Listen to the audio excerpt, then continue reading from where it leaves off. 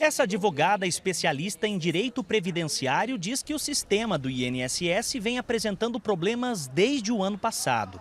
A pessoa não precisaria passar numa perícia se a, a, o afastamento dela do trabalho fosse inferior a 180 dias. Então, ele não precisaria ser submetido a uma perícia. Então, isso facilitou bastante a fila, que uma fila estava muito grande, então isso facilitou bastante, adiantou bastante a fila. Só que o sistema não está preparado para poder fazer a concessão desses benefícios dessa forma. Então, isso demora muito a pessoa fazer o pedido, demora muito a pessoa juntar os documentos médicos que ele precisa para poder juntar ali naquele aquele pedido e isso demanda, está demandando muita demora na concessão dos benefícios por incapacidade por conta do sistema.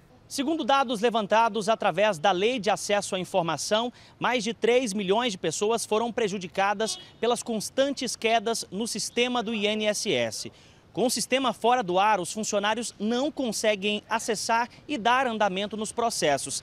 Assim, ele é adiado, aumentando ainda mais a fila enorme do INSS. A pessoa que ela está incapacitada para o trabalho, principalmente essa, que é a maior demanda hoje que as pessoas têm, são nos benefícios por incapacidade, é, a pessoa ela, ela, precisa daquele benefício a, a, a, na hora. Ela tá, aquele benefício é substitutivo de salário, serve para sustento dessa pessoa. Então, se essa pessoa fica sem receber o benefício, ela fica sem a própria subsistência. Então, os prejuízos são muito grandes. A presidente da Associação dos Aposentados de Goiânia diz que a procura por informação é grande e que algumas pessoas desistindo do processo de aposentadoria. Primeiro, porque o, o, o site está sempre fora do ar.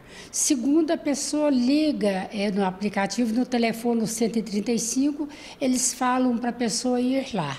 A pessoa chega lá, ele, ele não obtém o que ele precisa, manda que ligam de novo. Né? Então é um descaso total é, com o segurado. Segundo a advogada, quem não conseguir ter acesso ao benefício por conta do atraso na perícia com o INSS pode entrar na justiça. O cidadão que teve um prejuízo nessa, desse, dessa forma, de não conseguir fazer o pedido do INSS, ele pode sim buscar um advogado e entrar na justiça para ele poder não só conseguir aquele benefício, como também ser ressarcido pela demora na concessão desse benefício. Poderia ser muito mais rápido se ele tivesse conseguido acessar o sistema.